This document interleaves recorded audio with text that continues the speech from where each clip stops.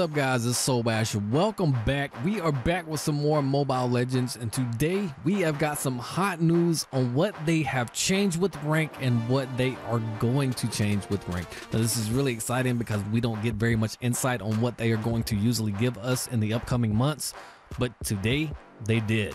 Before we get into the video, guys, make sure you hit that like button. It helps us out a lot here on the channel and comment below what you think about these updates that are going to be coming out soon. Also, you guys over on Facebook, I know a lot of you are watching. Make sure you come on over and hit that subscribe button and turn notifications on. That way you do also know when these videos goes live and you can keep up to date with what's going on. So what they have changed with ranked is a good bit. Over the past couple weeks, ranked have changed a good bit, which in saying that ranked game is one of the most important parts of the game and they've been aware and trying to improve it.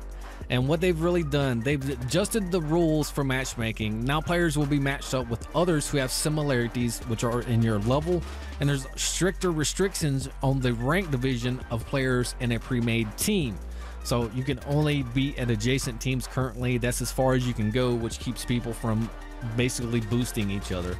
Uh, compensation for forgetting AFK teammates. In ranked games now, if any of your team goes AFK in the battle consecutively and you lose, then you can get additional protection points. Uh, note the AFK teammate is a pre-made. If it's somebody on your team, you can't get the extra points because that person is on the same pre-made team as you.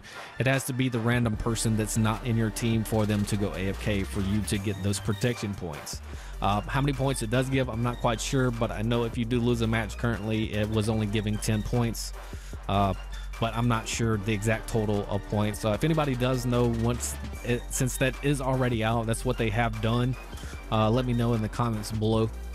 In order to provide a better matchmaking experience, they allowed the division gap, the same team, to be reduced as well. Uh, now, when you team up with your friends, your ranks must be within two adjacent divisions. So it's like I said just pr previously, they did change that.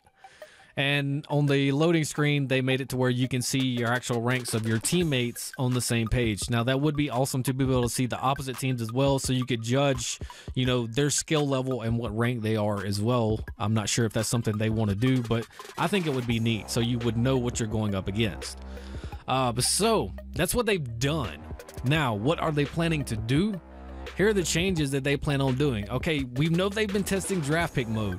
So uh, apparently draft pick mode is going to be coming in the upcoming months, uh, which basically gets you to ban and pick heroes. So that's going to be really interesting how that comes into play when it gets into the ranked division because what characters are people going to start banning? You know, what meta is going to shift and change because of this extra ban and draft mode that we're going to have to go through to do these matches.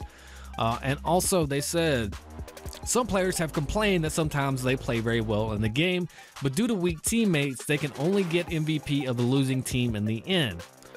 So, MVP of the losing team shouldn't lose stars. That's what they're saying. Now, we don't want to we want to improve this kind of experience for being dragged down, but at the same time, they don't want to see that players care only about getting MVP rather than the overall game situation.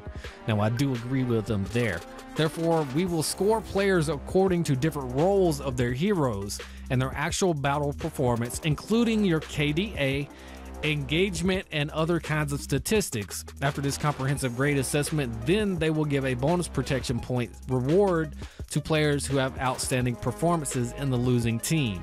Now, not only is it the MVP that is not going to lose stars, uh, apparently, if you perform good on your team, it's going to recognize that and it's going to give you uh, bonus protection points. Uh, I guess that's what it's actually saying. Um, and they also did say they wish to be able to give better answers and solutions. So please comment on everything you see that has any conversation about this. They do look at this stuff in the comments below on their forums, uh, directly where this stuff is coming from. Go comment on it, give them your feedback. If they don't have your feedback, they're not going to know what to do. So, this is really huge that we communicate back and forth with these guys and do give our opinions. Now, regardless if they use your opinion or not, they will read it. That's been, been proven because a lot of this stuff, a lot of the changes that have changed over the past several months me and Vel, we we we went after these guys about some of this stuff often, quite often, letting them know this is broke, that's broke, this needs to be looked at, this needs to be changed. And over time, these things have been changed. So do give your opinion. Your opinion is very valuable to these companies. And that's really pretty much it I've got to say about this. Rank games, it's going to be huge for solo players. I'm really excited for this. It's something that I've not been able to accomplish is being able to rank up because most of the time I don't have four other players with the amount of time that I have at certain times to play. So with that being said, that's going to be it for this video guys. Like I said, if you have any questions, comments, input about this, leave it in the comments. Go comment this on the forums. I'll leave the link for this as well. This has got to be seen. It needs to be addressed. And I want to thank you again for watching. As always, guys, like, comment, and subscribe. I am Solbash. You guys have a nice day.